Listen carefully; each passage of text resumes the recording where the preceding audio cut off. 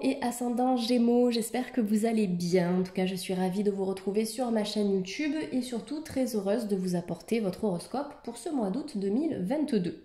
Donc, euh, je tourne de façon simple et efficace et toujours très conviviale pour le mois d'août. D'habitude, je tourne avec deux écrans simultanés, mais c'est vrai que j'ai pas eu le temps nécessaire pour faire les, montages. Ça demande énormément de temps. Euh, j'ai énormément de, consultations privées, je travaille sur des formations en ligne, sur d'autres projets. Donc c'est vrai que je ne peux pas être partout à la fois, mais je tenais vraiment à vous proposer vos horoscopes pour le mois d'août. Donc je vous le présente de cette façon-là et j'espère que ça vous plaira quand même. Donc les Gémeaux et ascendant Gémeaux, on va faire un point général avec l'oracle bleu. Et ensuite, je regarderai un petit peu l'aspect sentimental et santé avec deux oracles différents. Donc pour les Gémeaux, euh, déjà ce que l'on m'a transmis juste avant que je démarre la vidéo, c'est qu'il y a quelque chose qui va se débloquer pour vous d'une manière tout à fait inattendue. Une énergie foudroyante, c'est ça ce que l'on me montre, une énergie qui est foudroyante, qui est surprenante, qui est inattendue, quelque chose qui peut se déverrouiller, se débloquer du jour au lendemain. En fait, on me montre, vous voyez, comme le bouchon d'une bouteille de champagne qui saute et là, vous allez pouvoir respirer, vous allez pouvoir remonter à la surface. Donc j'ai l'impression que pour vous les Gémeaux, sur euh, le mois d'août 2022, c'est un nouvel élan de vie. Voilà, on revient à la vie d'une certaine façon. Donc faites-vous du bien au cours du mois d'août, pensez aux activités manuelles, aux activités artistiques, créatives, pour vous libérer, pour vous exprimer, pour mettre des mots M-A-U-X sur vos mots profonds, et retrouver une certaine légèreté. Donc euh, ce déblocage qui peut se faire de manière euh, assez rapide et inattendue, il va vous demander de rester quand même bien ancré à la terre. D'accord? Le monde minéral, c'est ça, c'est ce qui vous soutient, c'est ce qui vous ancre aussi. Et au plus vous êtes ancré, au plus vous allez réussir à cultiver l'énergie du lâcher prise. Vous devez lâcher par rapport à une situation. Et dans cette énergie du lâcher prise, vous allez pouvoir connaître l'harmonie et la fluidité. Donc le monde minéral peut vous apporter son soutien pour éviter aussi d'être déstabilisé par vos propres émotions, peut-être même une énergie conflictuelle, un conflit intérieur ou une certaine dualité. Donc le soutien minéral pour ça, mais aussi pour éviter d'être perturbé par des émotions qui ne sont pas les vôtres ou par des énergies qui sont en lien avec un environnement extérieur nocif. Voilà. Je pense qu'il y a pas mal d'hypersensibles qui me regardent aujourd'hui ou des personnes qui sont très sensibles. Donc c'est vrai que la sensibilité, si elle n'est pas suffisamment canalisée, si on ne se protège pas assez, on peut vraiment absorber comme une éponge des énergies qui ne sont pas les autres et ensuite être totalement épuisé. Donc la carte du monde de minéral, c'est aussi une invitation au cours du mois d'août à vous reminéraliser. D'accord? Donc comment faire pour se reminéraliser? Pensez déjà au premier pilier d'une bonne hygiène de vie, l'alimentation, d'accord? Avec des fruits, des légumes frais, bio, locaux et de saison. Euh, vous allez pouvoir justement apporter à votre corps des vitamines, des minéraux et des oligo-éléments essentiels au bon fonctionnement de vos cellules. Après, vous pouvez travailler aussi avec des pierres, d'accord? Moi, je pense que les pierres de couleur bleue seraient intéressantes pour vous au mois d'août, les Gémeaux, notamment pour libérer quelque chose au niveau de la parole et de la communication. Le bleu est associé au chakra de la gorge. Donc vous avez par exemple l'aigle marine, la calcédoine bleue, la turquoise, euh, qui est une pierre que j'aime beaucoup. Alors je ne l'ai pas sur ma table, j'ai dû la ranger ailleurs parce que j'ai pas mal de pierres là. Euh, mais je n'ai pas l'aquaora. Regardez sur internet, c'est une pierre qui est magnifique. Et euh, du coup, elle pourrait aussi vous aider par rapport à tout ce qui est en lien avec les échanges, les dialogues, les communications, euh, que ce soit pour faire passer un message à un ami ou à un membre de votre famille ou à votre partenaire. Voilà, ça va aider à fluidifier cet aspect-là de votre vie. Donc le monde minéral, c'est euh, le retour à la vitalité aussi, le retour à l'ancrage. Et forcément, bah, ça ne m'étonne pas de tirer cette carte. Hein. C'est euh, un appel à la transformation intérieure pour pouvoir transformer aussi votre monde extérieur. On a une faucille ici qui est représentée, d'accord? Avec la faucille, vous faites du nettoyage dans votre jardin. En tout cas, euh, les, paysans euh, s'en servaient à l'époque pour, euh, pour ça, pour faire du propre sur leur terrain et ensuite semer. Donc là, on est exactement dans cette même dynamique. Vous faites du nettoyage, vous nettoyez devant votre porte, vous nettoyez votre votre propre énergie, vos pensées aussi. On est dans une énergie où vous recyclez vos, pensées pour accueillir des ondes qui seront beaucoup plus positives. Alors j'ai l'impression qu'on a une chenille ici qui se transforme en papillon. Moi je ressens que la transformation elle n'est pas encore totalement complète. On voit que le buste de cette jeune femme, juste le haut, ça s'arrête là. Donc elle est en cours de transformation, elle est en cours de changement et de métamorphose. Donc petit à petit, euh, vous allez réussir à, retrouver votre belle lumière intérieure, les Gémeaux, et surtout à la déployer tout autour de vous. Donc là, on vous demande vraiment de vous débarrasser des, des énergies parasites, des énergies résiduelles que vous avez pu accumuler aussi ces dernières semaines, ces derniers mois et ces dernières années pour vous, retrouver et surtout vous transformer, devenir une, version de vous-même qui sera meilleure que la précédente. Voilà. Donc transformation qui va s'établir dans la matière, d'accord? Ça se fait sur le plan énergétique, ça bouge, ça avance, mais c'est quelque chose que vous allez pouvoir palper et conscientiser dans le monde matériel, donc dans des domaines concrets de votre vie. Allez, on va prendre une troisième carte pour vous, les Gémeaux. Donc les Gémeaux et ascendant Gémeaux de YouTube. Vous avez la carte du choix qui est sortie. Alors vous m'excuserez, je sais qu'elle est un petit peu abîmée cette carte. Donc la carte du choix associée au 20, donc 2 plus 0, ça nous donne le 2. Le 2, oui, ça représente le couple, ça représente la relation à l'autre, mais ça peut aussi représenter, vous voyez, voyez la dualité intérieure. Est-ce que je dois aller à droite, à gauche? Est-ce que je dois dire oui, non? Qu'est-ce que je dois faire en fait D'accord? Et à un moment donné, vous allez réussir à trancher. Et je pense que c'est ce choix, cette décision qui va vous permettre d'enclencher cette énergie de transformation qui est en cours. Euh, je pense que vous avez quand même été euh, touché par la vie, il y a des épreuves qui ont été complexes, on a cette armure qui apparaît euh, juste ici au niveau du bras de ce personnage, donc on voit que d'une certaine manière vous avez une sorte de protection qui est là, une coquille de protection et au cours du mois d'août on va vous demander de la casser, cette, cette coquille de protection, de la faire sauter tout simplement. Voilà, pour qu'on puisse vraiment se rendre compte de, votre potentiel et de ce que vous êtes venu incarner sur Terre. Allez, je vais tirer encore une carte pour faire la deuxième rangée. Donc pour les Gémeaux et ascendant Gémeaux de YouTube. Vous vous retrouvez pleinement en fait. Hein. Je pense que vous avez été à fleur de peau pendant un moment. Mais en faisant péter cette, coquille, vous, vous allez pouvoir montrer pleinement au monde qui vous êtes. Et incarner, comme je vous l'ai dit il y a quelques instants, votre, votre mission d'âme. Donc là, vous avez la carte de la femme. La carte de la femme aussi, d'une certaine manière, ça peut représenter la fragilité, ça peut représenter le côté émotionnel de la vie.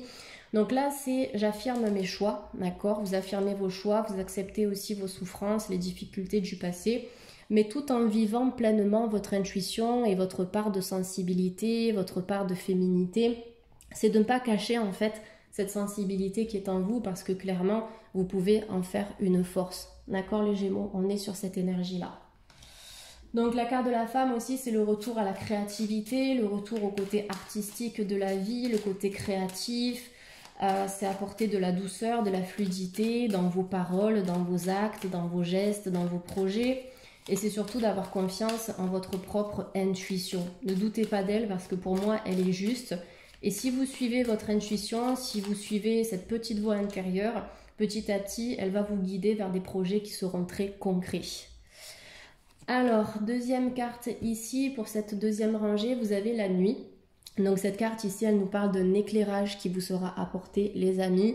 Alors peut-être après une période d'inconfort, une période de trouble, une période qui a été assez euh, nébuleuse pour vous, ben là on voit qu'il y a un retour à la lumière, tout simplement, un apprentissage il y a quelque chose que vous allez découvrir ou quelque chose que l'on va vous annoncer. Notamment si vous êtes une femme, après ça peut être une nouvelle que vous allez recevoir de la part d'une femme. Pour d'autres gémeaux, ça peut être aussi une sortie d'une nuit noire de l'âme, d'accord? On sort de, des ténèbres, on sort de l'ombre pour pouvoir enfin s'accomplir et se réaliser tout en acceptant les blessures du passé. ok? Cette carte du choix, elle est importante. J'accepte mes blessures, j'accepte les, obstacles, j'accepte les épreuves et je suis mon plan d'incarnation, je suis ma mission d'âme, je suis ma mission de vie. Voilà, je n'ai pas peur d'incarner ce que je suis venu incarner au final. Pour moi, c'est ça, c'est un peu une énergie qui va vous demander de travailler sur l'affirmation de soi, sur la confiance en soi, l'amour propre. C'est pas facile, mais euh, ça se travaille tranquillement, lentement et sûrement. Donc pour les Gémeaux de YouTube, s'il vous plaît, pour les Gémeaux. Il y a vraiment une, reconstruction de l'être et une reconstruction de l'âme dans ces énergies. Ne laissez pas cette part de féminité, cette part intuitive de côté. Pour moi, elle peut être vraiment une force pour vous, notamment si vous êtes hypersensible, vous avez des capacités intuitives, de l'intuition, euh, la clairaudience, des choses comme ça. Donc suivez ces manifestations psychiques, écoutez-les, ça vous guidera vraiment là où il faut les, les Gémeaux. Donc le pouvoir, c'est j'ai le choix d'une certaine manière. On a le miroir ici. Qu'est-ce que je veux refléter dans ma vie? Est-ce que j'en suis capable? Oui, vous en êtes tout à fait capable, les amis Gémeaux. Donc euh, si vous voulez refléter une vie qui vous ressemble, demandez-vous déjà si au niveau énergétique vous êtes bien dans votre vie, si vous êtes ancré, si vous vous sentez bien dans votre corps, si vous êtes au clair avec votre âme aussi. Parce que si c'est le chaos à l'intérieur, si vous ressentez de la dualité en vous, bah, ce qui va se refléter dans votre monde extérieur, forcément, ce seront des énergies en dents de scie, des difficultés, des choses comme ça. D'accord? Donc d'abord cultivez votre monde intérieur, votre propre monde intérieur, pour que le positif se reflète ensuite à l'extérieur et pour que vous puissiez attirer de belles opportunités, de belles rencontres, créer de nouveaux liens, créer de nouveaux projets, des choses comme ça. Voilà, je reprends le pouvoir et euh, je cultive mon pouvoir créateur. Il faut comprendre ici qu'à chaque instant, vous pouvez créer une vie à votre image et une vie qui vous ressemble. Donc on est vraiment sur un tirage qui est très positif avec ces six premières cartes. Donc on voit qu'il y a une transformation qui est en cours. N'ayez pas peur de suivre cette énergie transformatrice. Alors parfois ça peut vous demander de passer par des émotions difficiles, mais ça restera très salvateur euh, par la suite. Allez, donc on va continuer pour vous les Gémeaux. Donc je vais prendre une carte conseil avec l'oracle des anges de l'amour qui est un oracle 100% sentimental. Donc pour les Gémeaux et ascendant Gémeaux de YouTube, une énergie sentimentale. Alors, attirez votre âme sœur. C'est un petit peu comme la carte du miroir au final, parce que d'une certaine manière, tout à l'heure, j'essayais de vous faire comprendre que dans la vie, on attire ce que l'on vibre, c'est le principe même de la loi d'attraction. Et euh, de toute façon, tout est énergie, d'accord? Donc des énergies similaires s'attirent. Donc là, sur le plan amoureux, on vous dit les Gémeaux, prière, affirmation et visualisation vous aideront à trouver votre âme sœur ou vous aideront aussi à harmoniser pour certains couples votre vie amoureuse actuelle. D'accord? Vous pouvez travailler avec la loi d'attraction pour consolider les liens du couple, pour essayer d'améliorer aussi une énergie qui peut-être peut bloquer actuellement. Pour les célibataires, donc dans les énergies, vous n'allez pas rester célibataire très longtemps, mais on vous dit que vous avez la possibilité, avec la pensée créatrice, les affirmations positives et la visualisation positive aussi, ben, d'attirer à vous une âme sœur.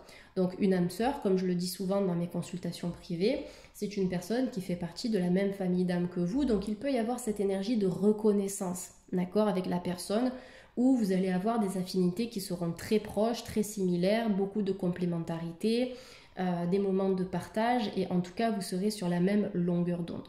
Donc pour les célibataires, on peut avoir quelqu'un qui va se manifester petit à petit, alors possiblement au mois d'août, mais si ça ne vient pas au mois d'août, ce n'est pas grave, c'est que vous allez commencer à manifester à partir de ce mois-ci.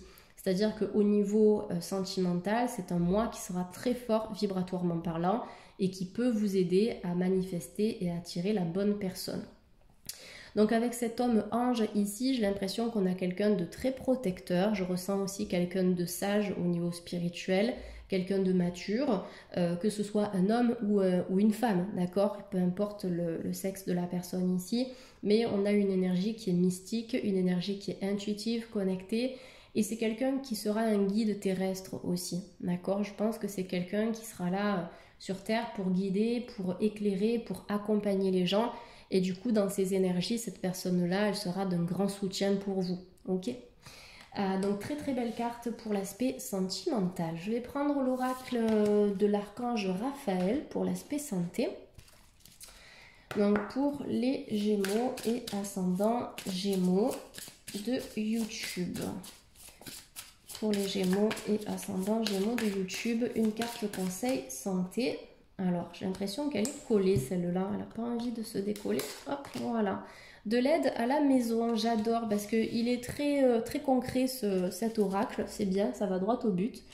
Donc cette carte de l'aide à la maison, j'ai l'impression que c'est au-delà de la maison et du foyer, c'est vraiment une invitation à déléguer. Arrêtez de tout faire, arrêtez de tout porter sur vos épaules. Euh, je pense qu'à un moment donné, euh, vous en avez eu plein le dos, les Gémeaux. Donc là, je pense qu'il faut vraiment euh, lâcher ce bagage que vous portez sur vos épaules et apprendre aussi à, recevoir, accepter de recevoir de l'aide des autres, de la part de vos amis, d'un professionnel, d'un membre de la famille, parce que sinon, à un moment donné, vous allez économiser, vous allez perdre pardon, toutes vos batteries. D'accord Donc là, on vous dit, cher Dieu et Archange Raphaël, merci de me donner le courage de demander et d'accepter de l'aide venant de vous, des anges et d'autres personnes pour des questions en lien avec ma famille et avec ma maison. Donc il y a des choses qui vont pouvoir se fluidifier, en tout cas des liens euh, entre certains membres de la famille. On peut avoir une reconnexion. Il y a une guérison profonde hein, sur le plan familial qui est en cours. Euh, vous avez la protection de la part de votre archange Raphaël ici. Après, à la maison, ça peut être aussi euh, des énergies qui vont se rétablir avec vos enfants, avec votre partenaire. Donc voilà, on vous demande vraiment de, souffler un petit peu et euh, de laisser les autres s'occuper de leurs propres tâches, leurs propres responsabilités et corvées. Et encore une fois, que ce soit à la maison ou ailleurs. D'accord? Comme je vous l'ai dit, vous ne pouvez pas toujours tout gérer et toujours tout faire pour les autres au détriment de votre santé. Voilà les Gémeaux, écoutez, j'espère que cette guidance a pu vous parler. J'ai essayé d'être la plus fluide possible. J'ai commencé en plein milieu du tirage tout à l'heure euh, de l'oracle bleu à entendre mes, voisins faire du bruit, donc parfois ça me déconnecte un peu, mais je suis vite revenue dans la guidance, donc j'espère que ça a été pour vous. En tout cas, je vous souhaite de passer un très bon mois d'août, prenez bien soin de vous, et puis je vous dis à très vite sur la chaîne. Merci les Gémeaux, bye